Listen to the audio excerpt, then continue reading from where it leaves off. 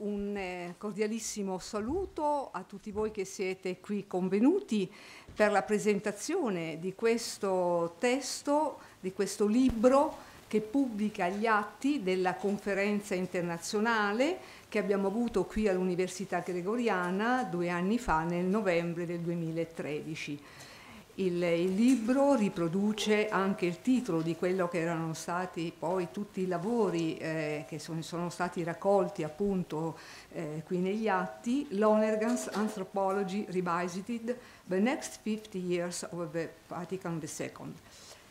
Bene, eh, quindi un cordiale saluto a tutti, a, agli studenti, ai, ai colleghi di questa università e di altre università che sono qui convenuti al nostro rettore magnifico, al nostro principale relatore di questa sera, che è il professor Wilkins, di cui parleremo, al padre Jerry Whelan, che ha curato eh, gli atti eh, di questo convegno.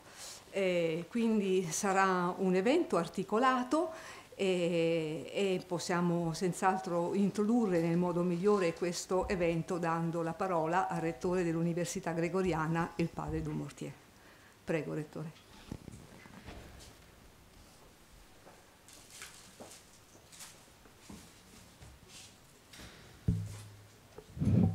Funziona. Funziona bene? Sì. Dunque, uh, I don't speak in English since there is a translation from uh, Italian to English, but in italiano, almeno il mio è italiano. Carissimo uh, professore Jeremy Wilkins, carissimi amici, sono molto lieto di salutarvi e di darvi il benvenuto all'inizio di, di questa serata dedicata al padre Bernard Lonegan attraverso due eventi. Il primo è sicuramente l'uscita degli atti della conferenza internazionale tenuta alla Gregoriana quasi due anni fa sul tema Lonegan's Anthropology Revisited. Desidero ringraziare di cuore il reverendo padre Jerry Whelan per questa pubblicazione che ha richiesto non solo tutta la sua attenta cura, ma anche il desiderio di condividere con un pubblico allargato i frutti della riflessione di coloro che hanno partecipato a questa conferenza.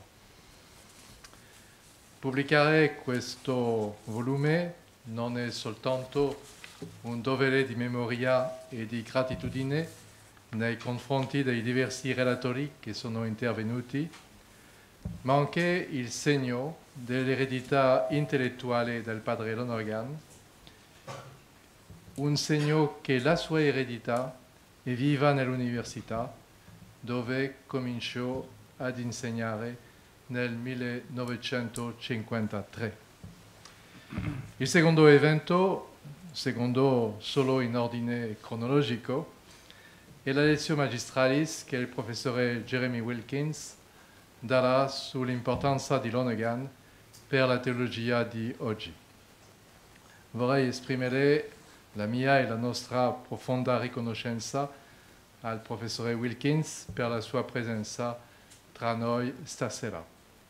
Grazie di cuore per aver accolto così bene il nostro invito e speriamo tutti noi che avremo molte altre opportunità di accoglierla nella nostra università. Non sono personalmente uno specialista di Bernard Lonegan, ma sono stato e rimango un lettore attento della sua opera.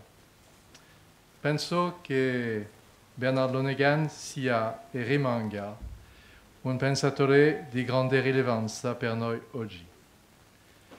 Come alcuni dicono troppo spesso e a voce talvolta troppo alta, e come altri non vedono e non sentono, trascorriamo e viviamo cambiamenti veloci e sconvolgimenti che possono creare una crisi, crisi intellettuale, culturale, spirituale a causa dell'oscuramento o della perdita di ciò che era o sembrava basilare.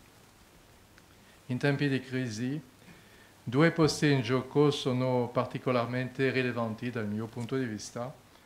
La prima è ritrovare, al di là delle mode intellettuali e della schiuma mediatico-culturale, i fondamenti di una riflessione e di un pensiero libero e profondo.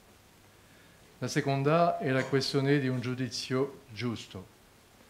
Attraverso questi due posti in gioco, nei nostri tempi, la sfida è quella di un umanesimo autentico. Nessuno può affrontare questi problemi difficili senza punti e modelli di riferimento, senza una guida affidabile. Penso che Bernard Lonegan faccia parte di questi pensatori che sono maestri intellettuali, bussole sul cammino umano, stelle che illuminano le notti da attraversare.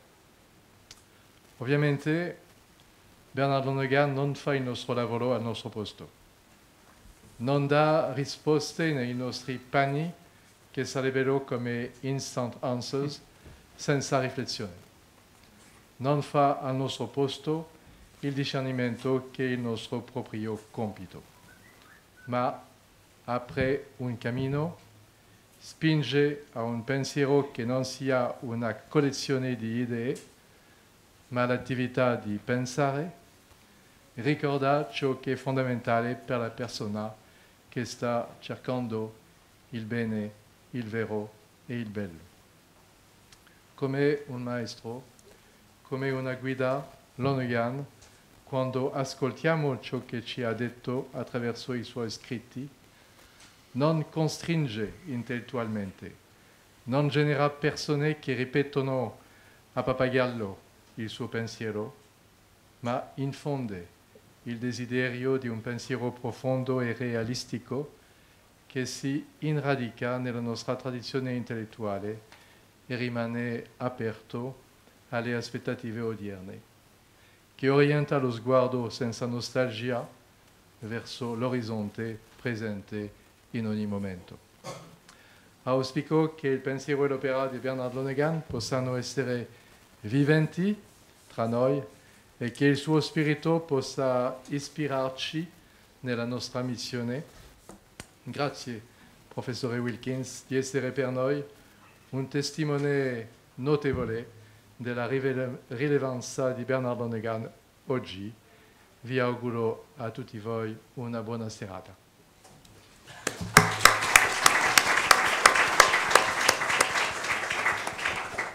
Grazie Padre Dumortier perché abbiamo veramente adesso anche la sua ehm, diciamo, indicazione veramente di, di, accogliere quindi quanto anche affronteremo questa sera eh, con questa particolare attenzione di non essere soltanto dei ripetitori eh, di Lonergan ma veramente di essere persone creative che hanno eh, approfondito il loro pensiero e quindi grazie anche a questo pensiero sono impegnate in un compito di creatività un compito di creatività che ci porta senz'altro a guardare comunque anche alla tradizione, perché il pensiero di Lonergan è comunque radicato nella tradizione di Sant'Agostino, di San Tommaso, quindi abbiamo lì eh, le radici più profonde. Al tempo stesso Lonergan però è veramente aperto a tutte quelle altre prospettive che ehm, si sono maturate all'interno dei vari saperi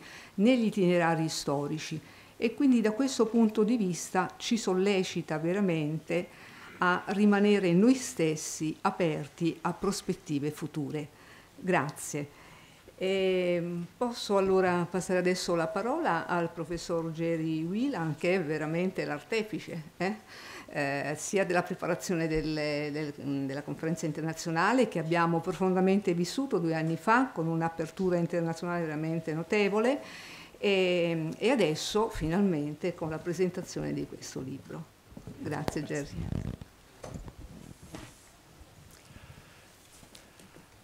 Buonasera.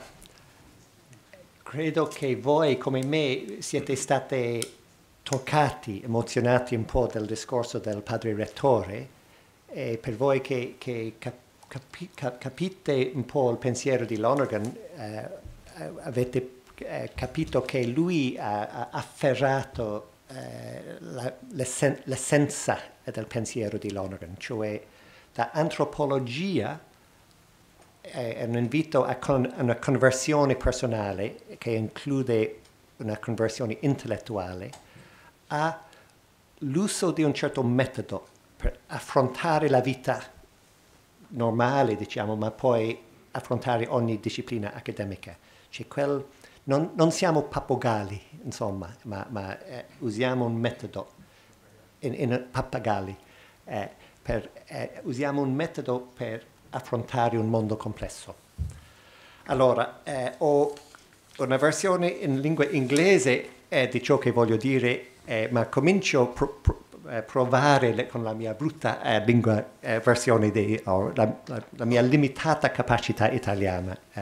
quindi int- introdurre il contenuto di questo libro per dieci minuti, non molto più, e poi continuiamo con la Lectio Magistralis eh, della sera. Questo libro presenta la, le contribuzioni ricevute durante la conferenza che abbia, avete sentito. La conferenza fu indetta per celebrare il cinquantesimo anniversario del Concilio Secondo Vaticano, svoltosi negli anni 62-65. Non a caso questo era anche il periodo in cui Lonergan era professore alla Gregoriana e peritus al, al concilio. Il titolo della conferenza, Una rivisitazione dell'antropologia di Lonergan, fu scelto da un comitato organizzativo eh, del quale ci sono qui eh, eh, eh nell'uditorio, eh, da dieci accademici, molti dei quali erano professori della Gregoriana.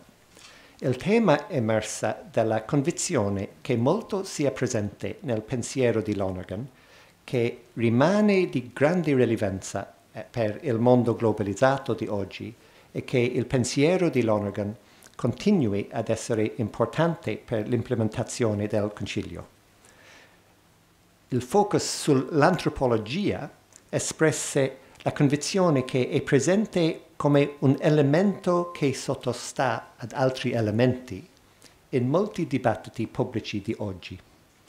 Nello stesso tempo rileviamo come l'antropologia di Lonergan crea ed usa un metodo che può guidare la pratica non solo di molte discipline accademiche, ma anche della vita di tutti i giorni. Questa intuizione portò alla decisione di invitare speakers che discutessero dall'antropologia di Lonergan e in particolare raccontassero come essi stessi avevano messo in pratica il metodo che egli proponeva.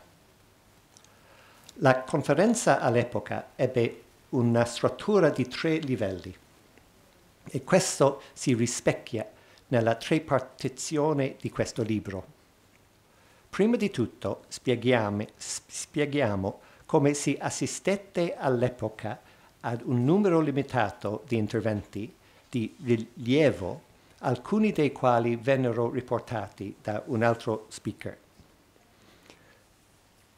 Quindi la prima parte soprattutto eh, in forma di introduzione al il pensiero centrale di Lonergan, da antropologia a metodo.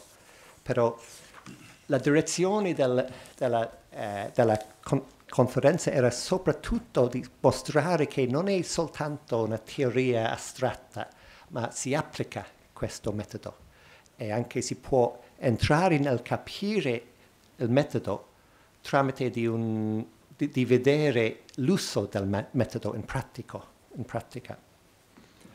Eh, infine, nella terza parte eh, oh, eh, abbiamo trattato questi tre temi soprattutto. Per esempio c'era, c'era, un'enfasi su tre panel eh, di interreligious dialogue, social science, interdisciplinarietà, ethos of a Catholic University. quindi da tutte le parti del mondo. se posso sottolineare soltanto una frase che per me è un po' simbolico del, di un tono di molti dei discorsi.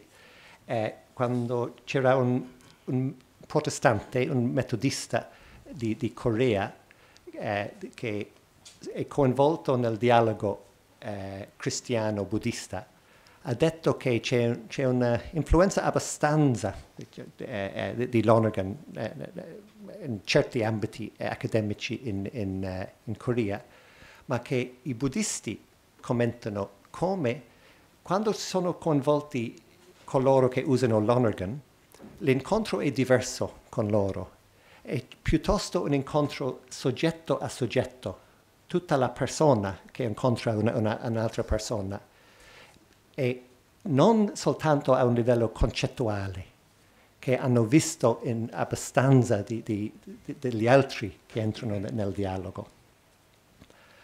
Eh, e terzo, la terza parte eh, era, eh, ricordo infatti eh, il suggerimento del rettore nel processo del, del, di pianificazione del, eh, del convegno, invitare offerte dei partecipanti per dei workshop ogni pomeriggio di seguire il tono del, del convegno, cioè parlare di come loro applicano l'Onergan, non speculare sul suo pensiero, ma, ma testimoniare dell'uso. E quella è la terza parte del, eh, di, eh, del libro, piccoli articoli, molti piccoli articoli, eh, di un tipo di rassegna di ogni workshop ma è notevole la diversità, diversità accademica, geografica, eh, ma qualcosa in comune ogni volta. Allora, per finire la mia riflessione, voglio riflettere un po' sulla rilevanza di questo metodo nell'epoca di Papa Francesco. Infatti ho, avuto, eh, ho, ho parlato un po' di, su, su, quella cosa nella conclusione eh, del libro. Ci sono vari incroci fra il metodo di Lonergan e il metodo di, implicito teologico di, di, di, Papa Francesco. Qui voglio sottolineare eh, soltanto due cose. Me, eh, dove sono adesso? Eh, il punto che desidero sottolineare è che una evidente ragione di, di sperare che questo pontificio possa rappresentare una nuova opportunità per il, il ricevimento del pensiero di Lonergan e che eh, eh, eh, due temi, mi scusi sono eh, saltando un po' dal mio testo, però eh, il primo tema di Papa Francesco è dobbiamo evitare un pensiero meramente astratto, dove dov- dovrebbe essere una concretezza nell'applicazione delle nostre idee. E la seconda, il secondo aspetto è l'importanza della cultura. Quando si vuole cambiare il mondo si comincia con una evangelizzazione della cultura. Quei due aspetti voglio sottolineare soltanto un po'. Eh, allora, mi scusi se salto un po' in lingua inglese eh, adesso, mi scusate. Uh, this is a, a, so if our translators aren't too shocked that I suddenly change uh, back to English, I want just to give some broad impressions of the parallels Lonergan Pope Francis. If you read this quotation, I suppose I could, uh, I'd like to remember Father Michael Paul Gallagher, who was a professor um, here in the Gregorian has gone back to Ireland sick uh, and was a contributor to the conference, has his article in this book. Uh, he used to always do this. Many of us have, have um, received uh, classes from him. He'd say, Who is this? Who's, who said this? So try to guess who is Lonergan, who is Pope Francis between these two quotations. The concrete being of man, then, is being in process his existence lies in developing. Well, if you guess who's that, the, um, the next sentence will give away who this is. His unrestricted desire to know leads him ever towards a known unknown.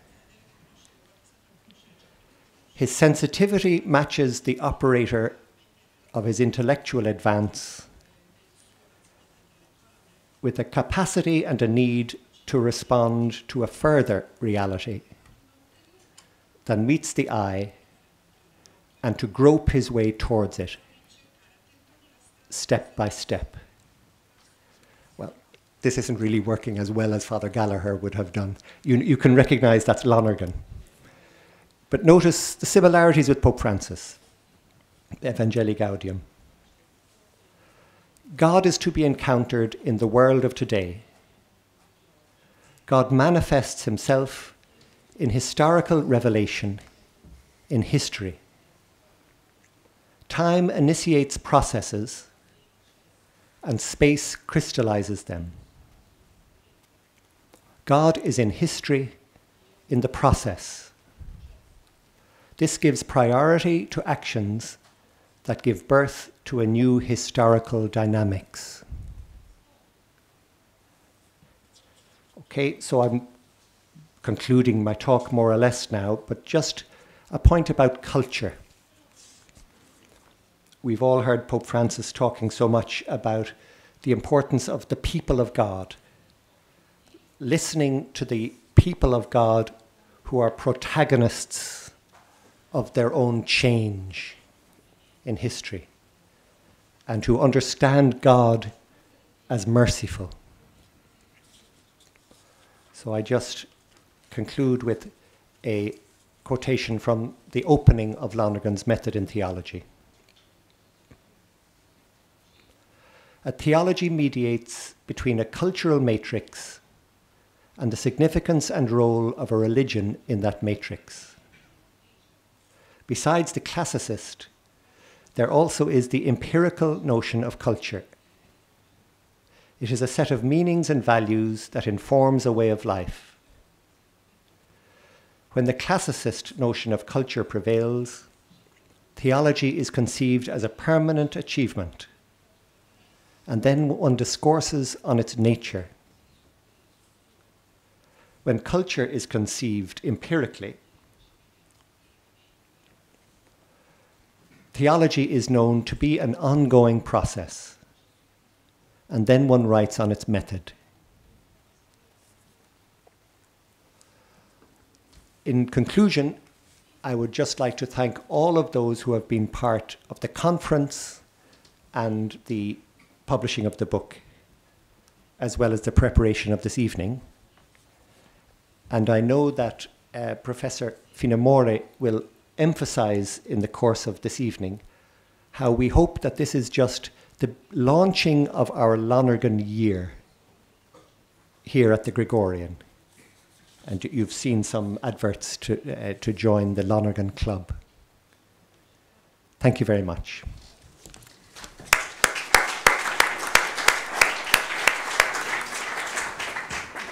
Ammiriamo la sintesi di padre Whelan che veramente ha impiegato pochi minuti per presentarci eh, le linee essenziali del libro, un libro che è molto ricco, abbiamo già sentito eh, alcuni aspetti delle sue articolazioni interne. E certamente la prima parte è quella che possiamo in qualche modo dire più fondativa in ordine all'antropologia e al metodo, ma subito già nella seconda parte eh, si apre questa uh, attenzione all'esperienza, all'esperienza che va vissuta all'interno dei vari contesti umani, eh, all'interno dei processi storici, proprio perché dobbiamo evitare alla luce del pensiero di Lonergan un pensiero che sia appunto uh, soltanto astratto. Uh, abbiamo bisogno di arrivare a un pensiero che si incarni nell'esperienza. ed ecco allora anche nella seconda parte tutta l'importanza che eh, nella conferenza e quindi nel libro lo troverete si è data anche al dialogo interreligioso ed ecumenico al, ehm, anche ai metodi eh, che possono essere impiegati eh, più utilmente all'interno dell'investigazione delle scienze sociali o anche, e questo interessa tra l'altro anche i nostri numerosi studenti che sono qui, eh, come può porsi oggi una università e quello che è chiamato a essere veramente una università eh, che faccia proprio il pensiero eh, di Lonergan e, e, poi le varie applicazioni che sono state richiamate. E certo, il libro ormai eh, è qui, ce l'abbiamo, eh, abbiamo raggiunto questo importante traguardo, ma eh, come per tutti i traguardi raggiungerlo significa poi che il cammino eh, è nuovamente aperto, quindi il, il, il, libro si propone veramente a tutti per una lettura ed una interpretazione anche attiva, personale di tutto ciò che eh, viene presentato. Certamente c'è l'importanza alla cultura e ai processi storici, storici, d'altra parte c'è questa sfida all'umanesimo autentico a cui il padre rettore ci richiamava e d'altra parte, eh, ecco, eh, senza maestri intellettuali sarà difficile che poi possiamo individuare veramente quelle vie e, e, anche quelle indicazioni di metodo che possono poi accompagnarci personalmente all'interno delle varie aree dei saperi e anche delle varie esperienze.